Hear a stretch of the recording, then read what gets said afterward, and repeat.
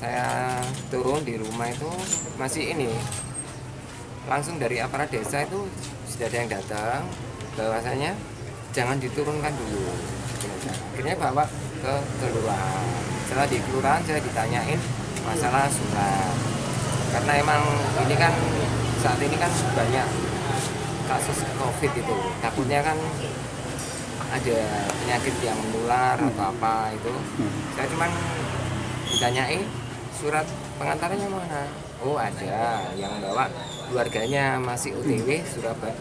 OTW ke sini. Gitu. Terus gitu mobil saya disemprot.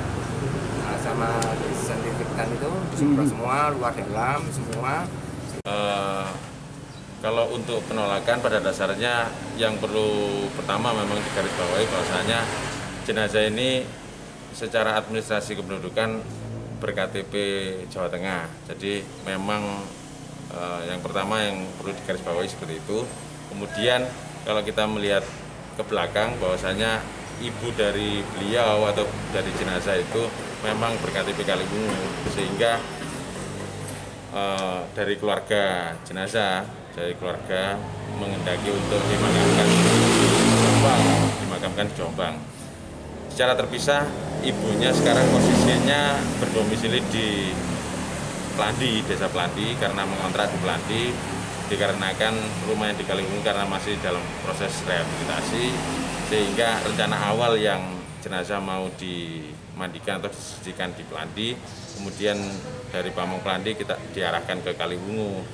Nah, oleh Kaliwungu melalui rukun kematian, kami koordinasi dengan Pamong juga Pelandi, bahwasanya mengharapkan keluarga bisa memfasilitasi untuk disucikan di rumah sakit awal meninggalnya beliau.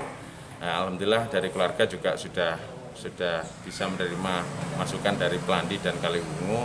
Alhamdulillah di malam sekitar jam 11 diberangkatkan oleh keluarganya dan ambulan dari Rumah Sakit Muji Rahayu Surabaya di untuk ditindaklanjuti seperti itu disertai dengan kelengkapan surat pemeriksaan kematian. Karena awal datang ke sini memang karena tidak ada asumsi seperti apa mungkin hanya membawa surat keterangan kematian saja.